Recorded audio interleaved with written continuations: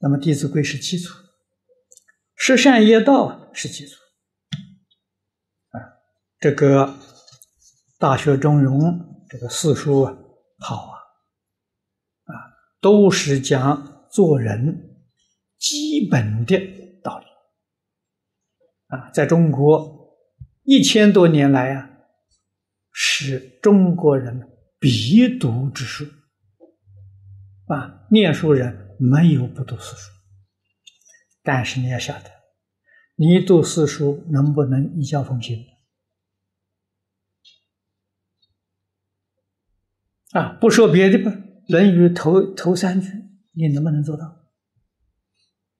学而时习之。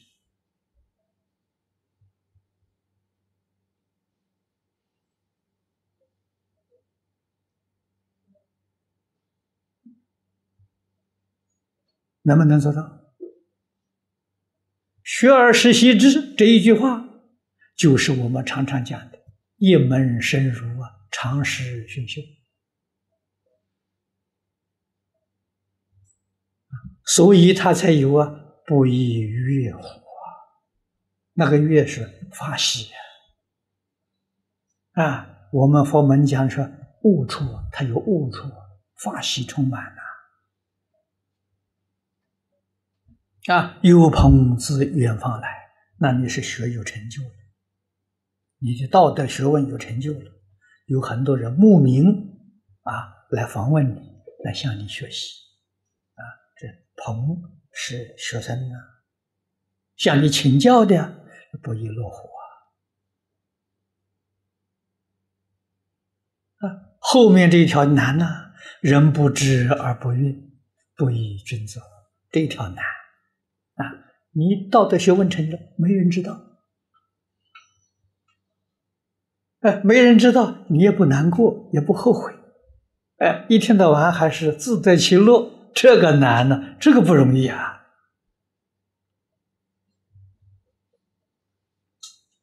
啊，谁念能不能做到？啊，大学的三纲八目，那三纲不得了啊。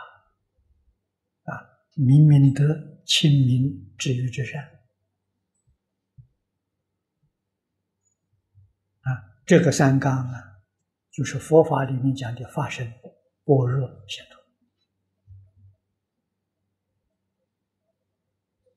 脱。啊，这是总纲领。从哪里学习呢？从知止，知止是定啊。啊，知止就是我们今天讲的放下了。从放下，哎，下手啊。啊，所以他讲的是格物致知。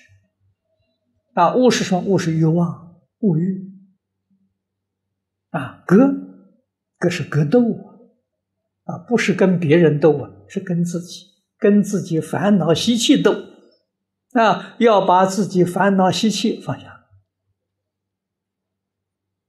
然后你才能够致知。你看看，跟佛法讲的 佛法四弘誓愿啊。烦恼无尽是缘断，那一条就是格物；法门无量是愿学，就是知之。啊，这五跟佛讲的是一样啊！啊，你应该怎么做法了？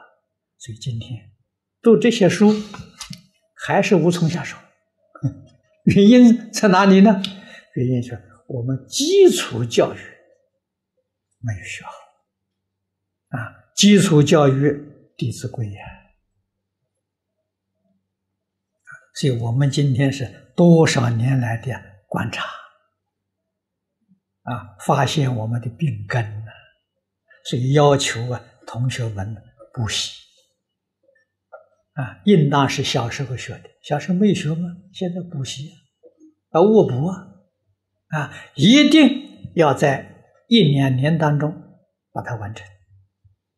啊，往后那就一帆风顺，无论学儒，无论学佛，没有不成就的。啊，所以这个比什么都重要啊。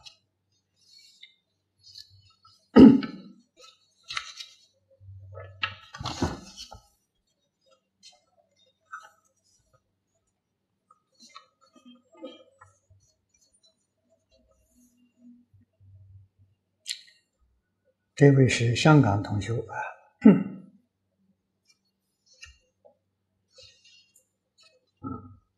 他问的有两个问题。他说：“我学佛八年了，每天念经以为有用，直到今年四月，他听你讲法之后，原来是白念的，因为不明讲什么。现在我有两个问题：第一个，如果茅山道士在自己家里施咒语。”咒起尸鬼附在身上，袭人精气，坏人身体。念药师经咒，是否可以解除咒语？还是有其他办法可以解除？我刚才说到，刚才已经说过了。你遇到任何困难，所有方法都失效了。经咒也没有办法了，那一句阿弥陀佛肯定有效，你相不相信？啊，这个话是灌顶法师说的，啊，所以一定要相信，啊，你相信肯定就有效，你不相信就没效，这什么道理呢？佛在经上常讲，一切法从心想生。啊！你想它有效就有效，你想它没有效，念佛也没有效。啊！但是所有一切这个这个法的这个功力了，一般人讲功力，那都比不上阿弥陀佛。啊！你看世尊在《无量寿经》对于阿弥陀佛的赞叹：“光中极尊，佛中之王。”啊！释迦对他的赞叹。代表所有一切诸佛如来对阿弥陀佛的赞叹啊，那我们要有信心啊！啊，第二个问题，如果一家人同时啊有某一种病，是否共业？怎样消除共业？怎样发愿？啊，请开始。这个现象呢，是像共业啊，业障最重要的是真诚的忏悔，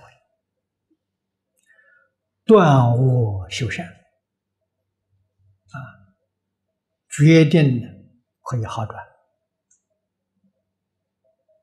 啊，所有一切的业障都是自己过去生中跟这一生当中啊。不善的念头、不善的行为所造成，特别是跟众生结的冤仇。啊！我没有跟人结冤仇，你有没有跟畜生结冤仇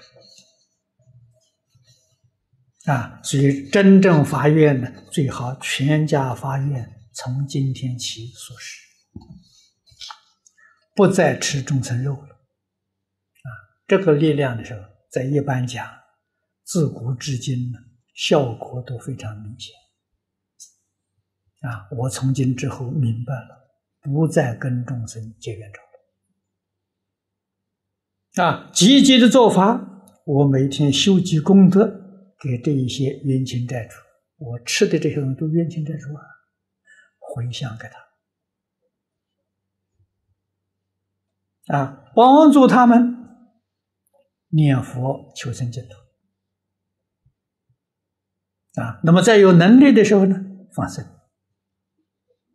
啊，爱护一切众生，不再伤害一切众生。这个念头升起，真正有行为去做，啊，许多这个冤亲债主都可以能化解。